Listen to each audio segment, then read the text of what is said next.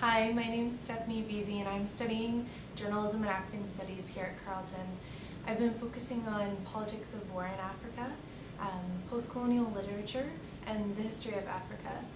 I recently took a course with Professor Susanne Klausen on modern African history and we learned a lot about the nationalist movement in Africa and we watched a film called Lumumba and that really changed my life, seeing how these nationalists fought for independence and, and to make a change, a wave of change across the country, uh, combating the realities of colonialism. And, and I hope to continue studying that um, throughout my final years here at Carleton.